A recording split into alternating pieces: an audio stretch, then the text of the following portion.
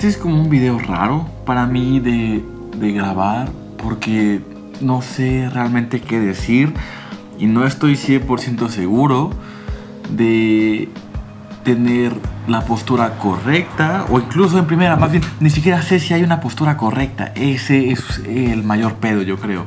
Y voy a dejar de mover mis manos porque se mueve la cámara. ah, ok, ¿a qué me refiero? Eh, hace unos días fui al Nevado de Toluca. y pues yo soy, bueno, no sé de Toluca, viví mucho tiempo en Toluca. Entonces mi alma, supongo que la mayor parte se ha quedado en Toluca. Mi punto es que tengo una conexión muy fuerte con Toluca. Ahora bien, Toluca pues no es el lugar más emocionante del mundo. Lo chingón que tiene Toluca, por ejemplo, es que está a una hora de la Ciudad de México. Tenemos tacos revolcados y tenemos el Nevado de Toluca, el cual es un volcán inactivo en donde pues cuando hace frío, neva, está muy chido eso. Incluso cuando no hace frío es, un, es una reserva natural muy chida. Sí se dice reserva natural.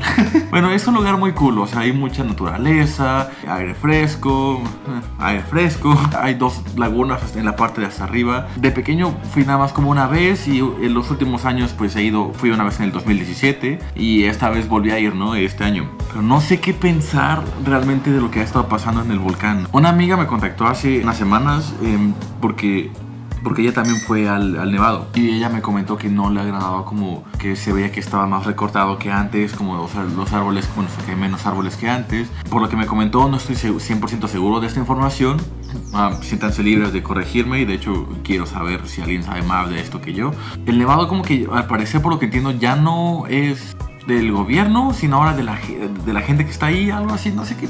El punto a lo que voy es que se está manejando diferente. Eso es lo que importa para esto. De hecho, cuando yo fui en el 2017, pues puedes subir. Para llegar al Nevado, pues obviamente está la carretera que te lleva a las faldas del Nevado y luego ya una vez estás ahí en el Nevado, hay una carretera que te lleva como casi hasta arriba.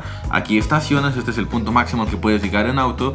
Ahí estacionas y lo demás tienes que caminarlo. Son como 20 minutos de caminata a buen paso. El punto es que podías llegar hasta arriba, ahora por lo que entiendo ya no. Se puede llegar como a la mitad. Aquí es en donde viene mi parte que, que estoy más dividido. En este pedazo que es como a la mitad del nevado hay un restaurante y mucha gente está con puestitos como que están vendiendo gorritos o sudaderas tejidas o bien comida.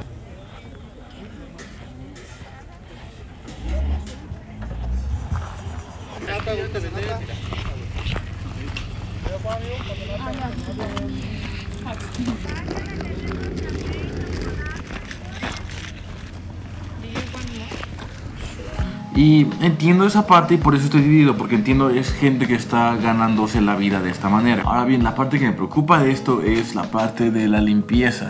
Genuinamente no sé qué tan bueno sea para el medio ambiente que esté esta, esta gente acá. Entiendo que están ganándose la vida y es la parte como que me... No sé quiero exponerlo a ustedes y, que, quiero también saber qué, piensan ustedes. Ahorita al final más o menos voy a decir lo que yo pienso. Si quiero exponerles ambos lados como de, de, mi dilema. Porque sí es importante que vean estas dos partes, yo siento, ¿no? Haciendo un lado esta parte de la gente, hay unas camionetas que te cobran 50 pesos para subir y 50 para bajar.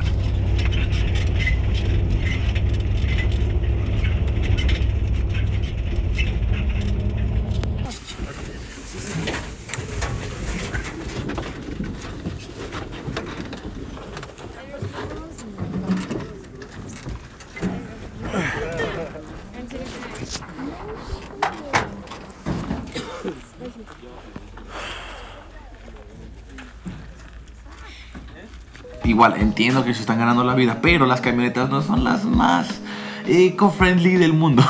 no sé hasta qué punto contaminan más también Independientemente de eso, tampoco siento que sea tan buena idea. Una vez que estás en la parte de hasta arriba del nevado, dar unas vueltas por ahí, caminar es súper fácil. Te puedes llevar ahí todo el día porque hay mucho que hacer. Tal vez no hay actividades, pero hay mucho que ver. Es un, es un volcán. Yo estuve caminando por ahí como una hora y media más o menos. Solamente me fui porque empezó a llover. Fue la única razón por la que me fui. Se me ocurre el caso que qué tal que caminas demasiado y regresas y ya no hay camionetas y luego está haciendo un chingo de frío y tienes que bajar. Tendrías que ir preparado con chamarras y todo. Y se puede bajar o sea, no es como que sea imposible bajar porque pues es un camino en el que puedes subir una camioneta, entonces es un camino detallado en el que no hay problema para, o sea, no te vas a perder, a eso me refiero. Pero, ¿qué pasa si la gente que está caminando tal vez no se llevó la chamarra correcta, se llevó una que no calentaba tanto y no sé, se va así se me hace raro, no sé, no sé qué pensar de eso. Pero bueno, la parte más importante aquí, que es como la que más me tiene como...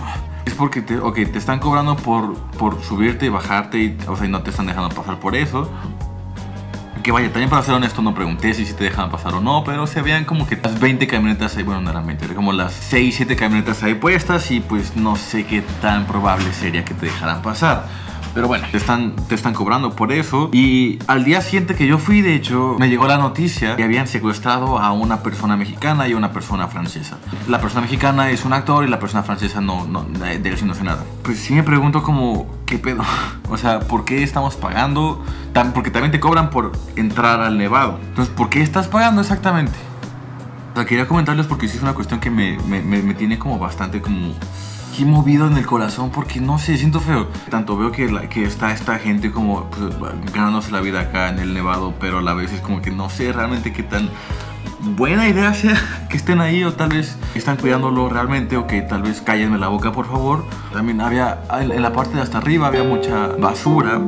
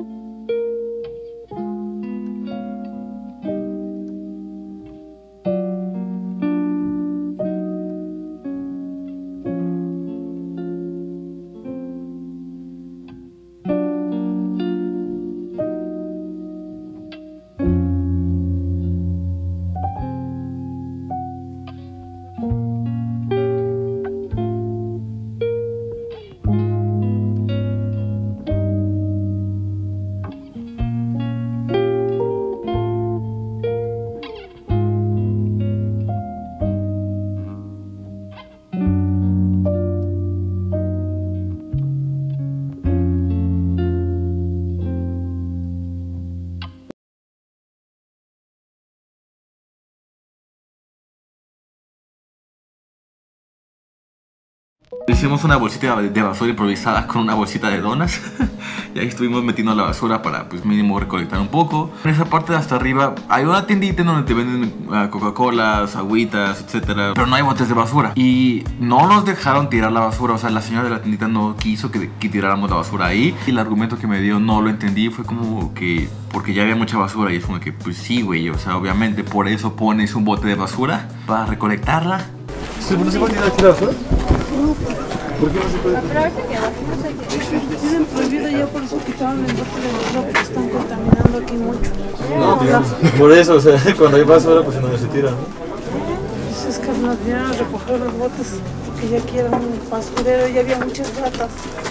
dijo que ya eh, se estaba haciendo como un basurero y es como que pues entonces bájenla. Pero el punto es recolectarla que haya en dónde tirarla. O sea, hay mucha gente ign- ignorante pendeja que la tira así porque es como, "Ay, pues nadie dónde tirarla. O sea, eh, no es excusa, pero hay mucha gente que se la va a agarrar de excusa por eso, ¿no? Es como un lugar muy chido, muy bonito y no quiero que se arruine. Porque la gente tiende a arruinar las cosas chidas. Compartan si quieren el video, si quieren solamente el mensaje, tiren la basura en lugares que son designados para tirar basura. No quiero solamente quejarme, quiero intentar proponer una solución, pero no tengo nada. He estado dándole un chingo de vueltas en mi mente, créanme, pero no se me ocurre realmente nada. Si alguien tiene algo, algo que decir, por favor díganlo en los comentarios o mándenme un mensaje a mi Instagram, a- en donde puedan contactarme. En la última pantallita siempre salen mis redes, en Twitter también. Mándenme mensajes o no sé, lo que sea que podamos hacer porque pues no está chido. Además de la inseguridad, eso es lo que también me enoja. ¿Qué pedo con la inseguridad? No deberían pasar estas cosas. Neta, me puta muy cabrón porque no deberían pasar estas cosas. O sea, debería estar haciendo un video narrando lo chingón que está el nevado, diciéndoles vayan, diciéndoles sí, uh, uh, conozcan el nevado, pero no quiero hacerlo porque no sé cómo me siento al respecto. Ah.